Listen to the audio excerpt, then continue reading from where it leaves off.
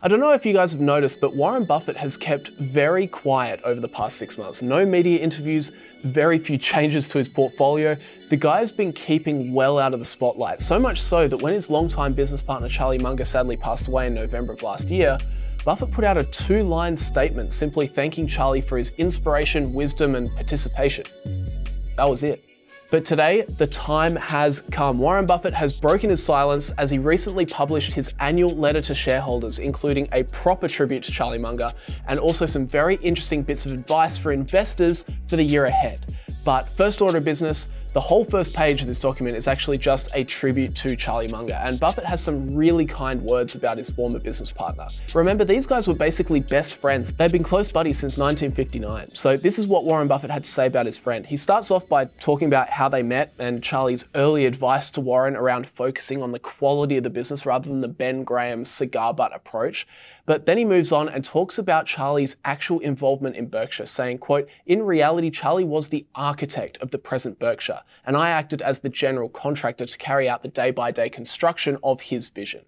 Charlie never sought to take credit for his role as creator, but instead let me take the bows and receive the accolades. In a way, his relationship with me was part older brother, part loving father. Even when he knew he was right, he gave me the reins, and when I blundered, he never, never reminded me of my mistake.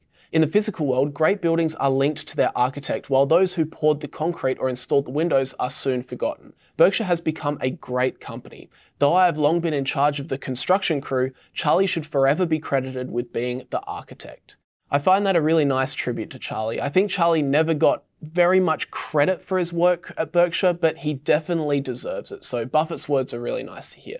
And with that said, we then move on to the actual contents of the letter itself, and there was a lot to take away from it. He started by taking his usual dig at the relatively recent update to the accounting standards, which necessitate unrealized capital gains be included in net income. And for most companies, this is fine, but for a business like Berkshire, which is mostly wholly owned business operations plus a giant stock portfolio, it means the month to month bouncing of the stock market can really make it hard to assess the actual results of the underlying business operations. He says you see guidance and are told that the procedures for calculating these earnings are promulgated by a sober and credentialed financial accounting standards board, mandated by a dedicated and hard-working Securities and Exchange Commission, and audited by the world-class professionals at Deloitte and Touche.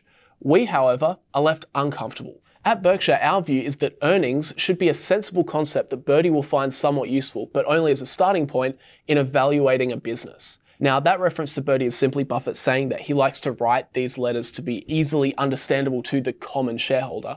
But from that passage, you can definitely see just how annoyed he gets at these rules. For example, if you had a company that generates $10 billion one year, then 20 billion, and then 30, that's pretty great. But if they hold an investment portfolio that bounces up $5 billion in the first year, drops 5 billion in the next, and then falls another 10 billion in year three, it will look like the company's earnings are going nowhere, when in fact the company itself has grown its business operations really well. It's just stock prices bouncing around in the short term. Now, with companies that don't really hold too many investments and just make and sell gizmos and gadgets, then this rule doesn't really impact them. But for a business like Berkshire, which has a lot of wholly owned businesses, as well as a $350 billion stock portfolio, then simple unrealized capital gains can actually swing the official numbers quite a lot. In fact, Buffett notes that this can swing Berkshire's net income by up to $5 billion per day. So, the solution? Buffett says you should always watch operating income how much money the business operations are actually making. So that's what he spoke about first, but Buffett also took the time to really run through his investment strategy and what he specifically looks for when buying a stock. He noted two important points that he's always looking for businesses that enjoy good economics, that are fundamental and enduring, and they also hope these favored businesses are run by able and trustworthy managers. So as always with Buffett, it's analyze the company for a moat and then check that this company is run by trustworthy managers. But he also notes at just how hard this completely simple strategy is actually getting for Berkshire. And this was probably the most interesting part of the letter for me. He says, this combination of the two necessities I've described for acquiring businesses has for long been our goal in purchases. And for a while, we had an abundance of candidates to evaluate. If I missed one, and I missed plenty, another always came along. But listen to this. Those days are long behind us. Size did us in, though increased competition for purchases was also a factor. Yes, you heard me right. This is Warren Buffett, the Oracle of Omaha, admitting that Berkshire's amazing run is probably over. They're simply too big. But what does he mean by this? Why is scale such a problem? Well, he notes, quote, there remain only a handful of companies in this country that are capable of truly moving the needle at Berkshire, and they have been endlessly picked over by us and by others. Some we can value, some we can't. And if we can, they have to be attractively priced. Outside the US, there are essentially no candidates that are meaningful options for capital deployment at Berkshire. All in all, we have no possibility of eye popping performance. Firstly, how crazy is that level of honesty from a CEO? But on the point Buffett raised, we have to remember that Berkshire is the seventh largest company in the S&P 500 at a market cap of 868 billion dollars. Their stock portfolio alone is worth 350 billion, and they've got 167 billion dollars of cash sitting on the sidelines. Realistically, they want to be investing tens of billions of dollars into businesses at a time, but there's only so many companies that you can do that to while still remaining less than a 10% shareholder, as Buffett likes to do. Immediately, you need a business with a market cap of over $100 billion for Buffett to even take notice. And despite us talking about, you know, these days multi-trillion dollar companies, there still aren't that many businesses with a market cap in the hundreds of billions. In fact, as of the time of recording, there are only 92 companies in America with a market cap that high. And obviously, as you go international, once you drift away from the biggest stock market in the world, these opportunities become less and less. But that's not to say Buffett has given up hope at finding these opportunities because there is one more factor that will always remain that gives investors infrequent yet amazing opportunities, and that is psychology. Buffett says occasionally markets and or the economy will cause stocks and bonds of some large and fundamentally good businesses to be strikingly mispriced. Indeed, markets can and will unpredictably seize up or even vanish as they did for 4 months in 1914 and for a few days in 2001. If you believe that American investors are now more stable than in the past, think back to September 2008. Speed of communication and the wonders of technology facilitate instant worldwide paralysis, and we have come a long way since smoke signals. Such instant panics won't happen often, but they will happen.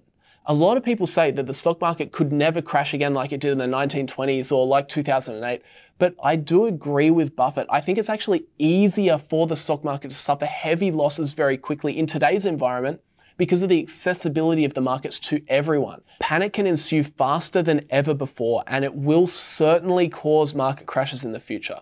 But the key is to remain calm, understand where the high quality businesses lie, and keep a close eye on them in your watch list. Then, when the markets do inevitably fall off a cliff, you can take decisive action for the long term. Buffett notes, though the stock market is massively larger than it was in our early years, today's active participants are neither more emotionally stable nor better taught than when I was at school. For whatever reasons, markets now exhibit far more casino-like behavior than they did when I was young. The casino now resides in many homes and daily tempts the occupants. And ultimately, that highlights the game we're playing as long-term investors.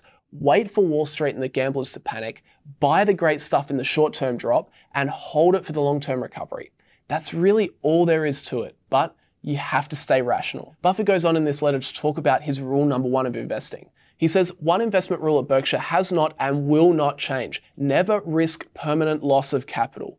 Thanks to the American tailwind and the power of compound interest, the arena in which we operate has been and will be rewarding if you make a couple of good decisions during a lifetime and avoid serious mistakes. Essentially, don't get sucked in with the gamblers and always make long-term minded decisions. But that quote in particular brings up a concept that I've been yammering on about a lot lately, which is to also focus on staying with those few good decisions, sticking to the long term compounders. And Buffett goes on to talk at length about the power of holding on to the long term compounders through two examples Coke and American Express. He says American Express began operations in 1850 and Coca Cola was launched in an Atlanta drugstore in 1886.